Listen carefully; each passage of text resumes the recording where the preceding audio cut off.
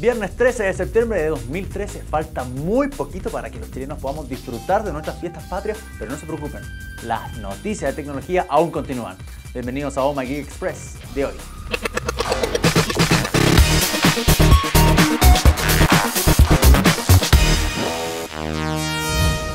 Facebook prueba la reproducción automática de videos con fines publicitarios como en la televisión. Así es, porque esta reproducción de clips la veremos en distintos dispositivos móviles como tu teléfono o tableta, preparando el terreno para mejorar la publicidad en la red social, la cual altamente ha sido criticada. Solo los videos de usuarios individuales, celebridades o músicos tendrán esta opción de reproducción automática cuando aparezca en la línea de tiempo o de noticias de un usuario. La prueba comienza hoy para un pequeño grupo de usuarios de Facebook en Estados Unidos. Más adelante se dice como rumor que Facebook podría cobrar a las marcas entre 1 y 2.4 millones de dólares para mostrar videos de 15 segundos en la web. Oye Facebook, ¿estás seguro que la solución a tu publicidad es ser invasivo cada día más?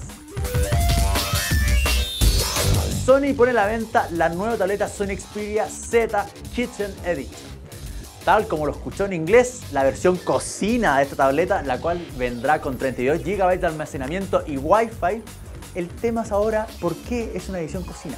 Básicamente porque el equipo vendrán con aplicaciones preinstaladas de videos, recetas y aplicaciones de cocina y sale a la venta con iGrid de iDevice y distintas herramientas como un termómetro inalámbrico que permite controlar la cocción de la comida a 200 metros de distancia. Ya se puede adquirir desde la web de Sony por 650 dólares. ¿Y qué pasa si mejor me compro una tableta más barata y le bajo receta de internet?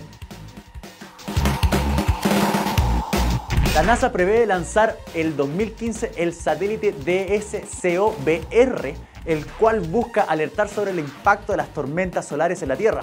La prioridad es observar la Tierra justo entre esta y el Sol, a 1.5 millones de kilómetros de nuestro planeta.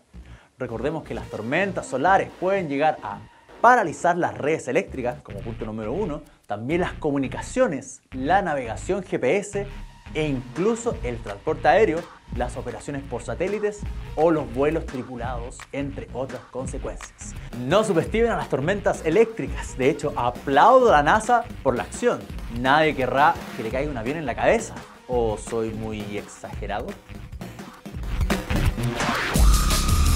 Espero que nos podamos ver la próxima semana. Esto con el 18 y las celebraciones patrias, creo que podríamos incluso desaparecer por una semana completa. Nos vemos, que esté muy bien. Hasta el próximo Omega Express.